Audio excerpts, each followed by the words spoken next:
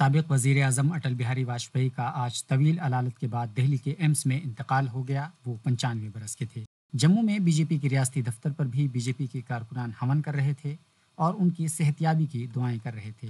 लेकिन जैसे ही उन्हें इत्तला मिली कि अटल बिहारी वाजपेयी इस दुनिया में नहीं रहे, सभी लोग मायूस हो गए। स्वर्गीय अटल बिहारी वाजपेयी जी को श्रद्धांजलि देने के लिए एकत्रित हुई एक पत्रकार के रूप में, एक राजनेता के रूप में, एक कवि के रूप में और एक स्टेट्समैन के रूप में जो उनका पूरे भारत में एक नाम है।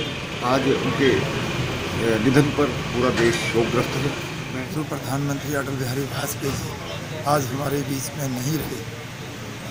ये खबर सुनकर पूरा देश जो है वो शोक में डूब गया है। अगर हम उन्हें श्रद्धांजलि ही देना चाहते हैं तो उनकी जो सोच थी, सबको साथ लेकर चलना, इस देश को समृद्ध, ताकतवर और विकासशील बनाना, उसके लिए अगर हम काम करते हैं तो मुझे लगेगा कि हम सब उनको सच्ची श्रद्धांजलि जो है, वो भेंट कर रहे हैं।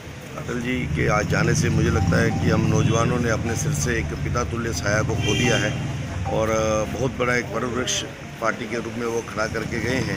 हम युवाओं के लिए बहुत बड़ी एक प्रेरणा थे वो, जब तक हम हमारे बीच में रहे।